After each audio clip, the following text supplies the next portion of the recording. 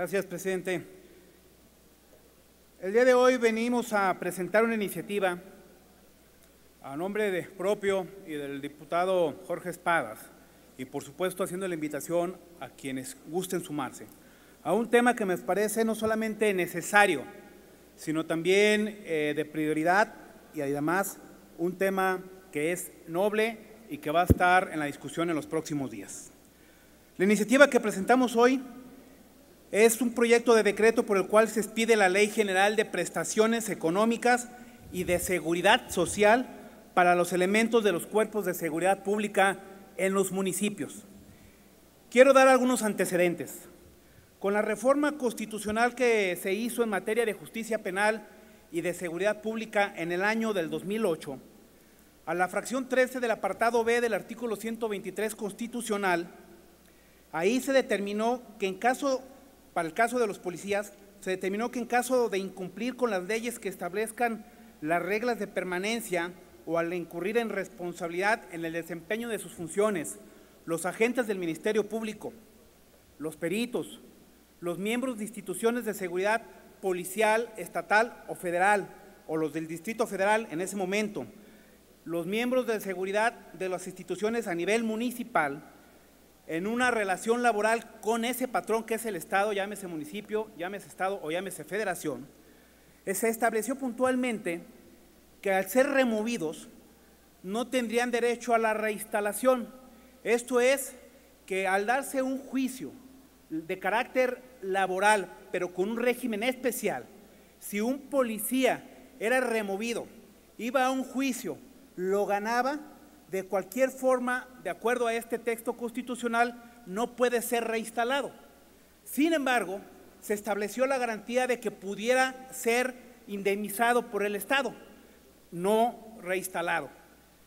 Y en ese sentido, se han venido dando a lo largo de estos años una serie de situaciones donde el elemento del policía municipal está sujeto a los acuerdos del ayuntamiento o de la autoridad de la que dependa para efecto de hacer valer sus prestaciones laborales, para efecto de hacer valer el derecho a una indemnización o para efecto de tener el acceso a la seguridad social.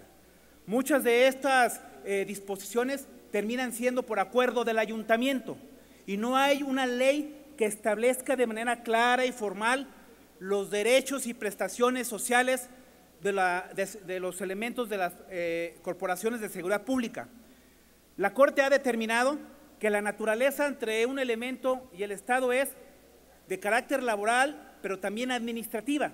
Es por ello que muchos de estos juicios terminan llevándose a cabo en los tribunales contenciosos administrativos.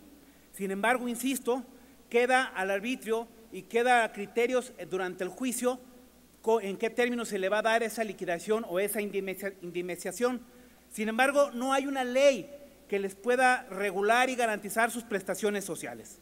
Este es el motivo que hoy nos trae aquí a presentar una propuesta de reforma para crear esta ley de prestaciones de seguridad social y de seguridad y de prestaciones económicas para los elementos de los cuerpos de seguridad pública a nivel municipal.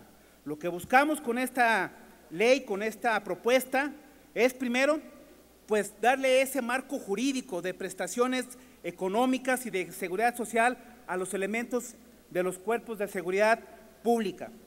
Buscamos también dejar clara cuál es la relación de carácter administrativo entre las instituciones de seguridad pública y los elementos de policía. La remuneración a que tendrán derecho de carácter ordinario, pero también aquellas remuneraciones de carácter extraordinario o privilegios que pudieran tener. También se establece los derechos y obligaciones, por supuesto, de los elementos de seguridad pública, es decir, de los policías, y también los derechos y obligaciones de las instituciones de seguridad pública. Esta ley también busca generar un marco legal que pueda alentar el profesionalismo en las corporaciones de seguridad pública. En suma, esto es lo que propone esta ley general por el cual se presenta pues, las prestaciones económicas y de seguridad social para los elementos de seguridad pública. Hoy estamos ya en discusión en seno de comisiones respecto al dictamen que tiene que ver con la Guardia Nacional y seguramente estaremos en discusión aquí en el Pleno en próximos días con este tema. Pero creo que más allá del debate que tiene que ver el tema de la ciudad nacional, tiene que ir acompañado de la estrategia de atender el origen. Y el origen del problema, se ha dicho, es que los municipios o las instituciones de seguridad pública municipal se han visto vulneradas y se han visto muchas veces eh, intervenidas por el crimen organizado y es un, un imperativo atender la situación de los cuerpos de seguridad pública a nivel municipal. Gracias por su atención, gracias presidente, y invitando a sumarse a este tema que me parece de primera relevancia para el país. Gracias, diputado.